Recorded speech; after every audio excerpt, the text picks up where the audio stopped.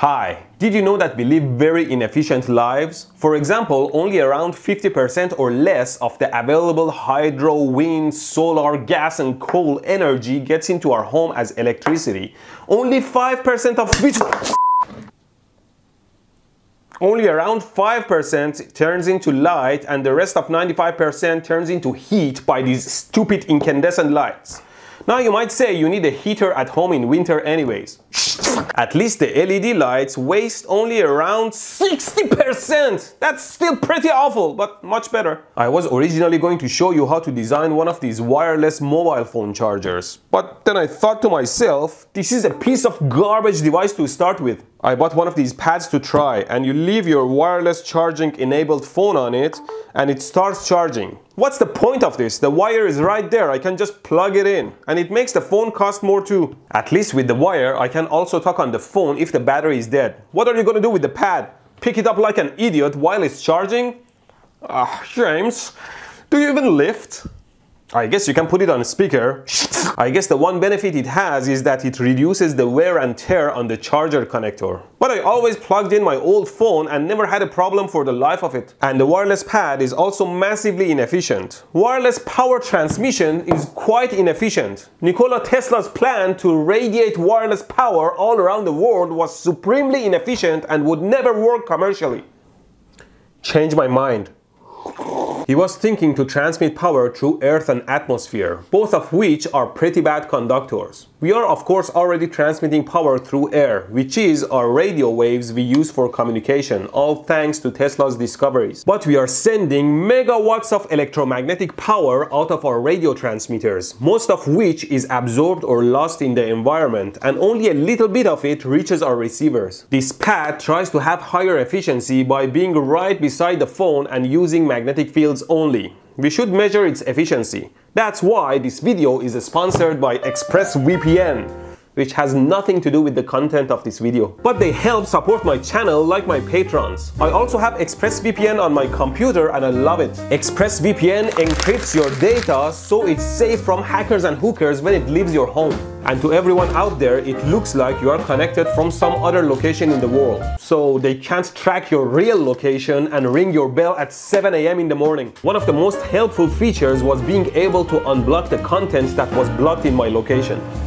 More about that at the end. So this pad transmits magnetic energy like a transformer. The primary coil is inside the pad and the secondary, like this coil I made, is inside the phone. I connected an LED to the output of this coil and if I place it on the pad, it starts blinking.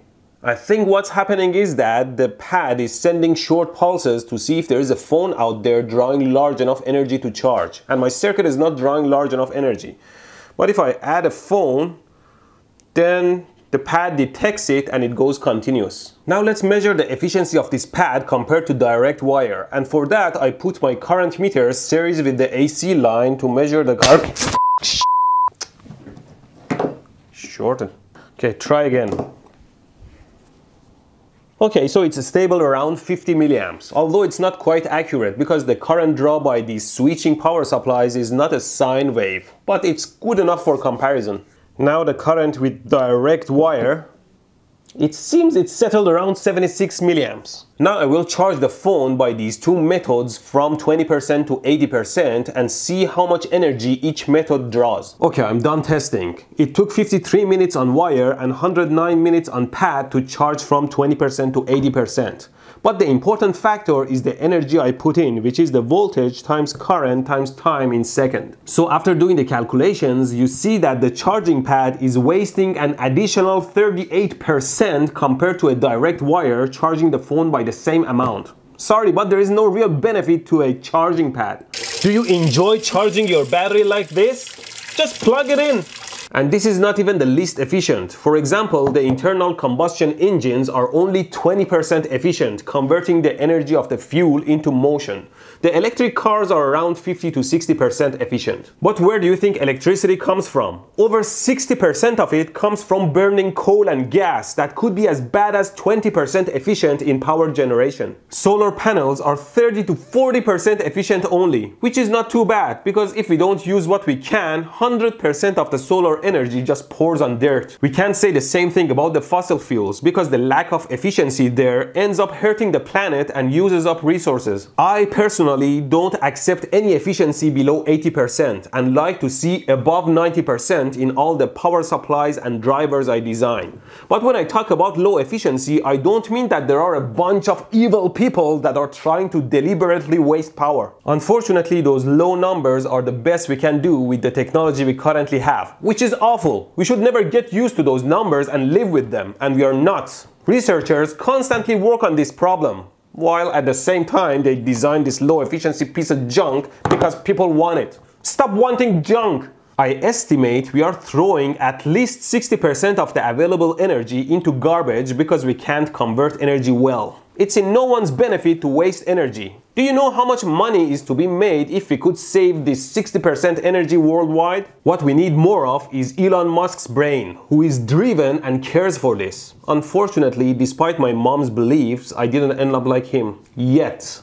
Yeah, he works too much and I'm too lazy. But I don't think his brain is unique at all. I'm pretty sure a bunch of you out there are as smart or smarter. You just need a bit more direction and encouragement to tackle these issues. Because all we need are more clever solutions and you are the person for the job. Believe me, power generation, conversion, and transmission of any kind is one of the most important things, and I want you to think and dream about efficiency. And please don't think about free energy devices because there is no free energy device! Yeah, going to Mars is cool and all, and there is a lot to learn from it. But it's the brilliant idea to make the rockets reusable and make space travel much more efficient that makes it special. And I want you, the girl or boy with the brilliant mind, to come out of your shell and enlighten the world with your new ideas. The more the merrier. This video is sponsored by ExpressVPN. You can't believe how many places have internet limited, while we need free and safe internet for our information and research. And that's what ExpressVPN provides. ExpressVPN safeguards your connection by encrypting your data, never holds a record of your data, and never reveals your location. Like I said, the most fun I had with ExpressVPN was unblocking those sites or videos that are not available in your country. Like once I was trying to donate some tools to a school in Croatia and the school website was blocked. So ExpressVPN and boom, the gates of the school opened. So go to expressvpn.com slash electroboom to learn more and get 3 months free with the 1 year package, after which it's less than $7 a month with a 30 day money back guarantee. And support me in the process too. Thank you.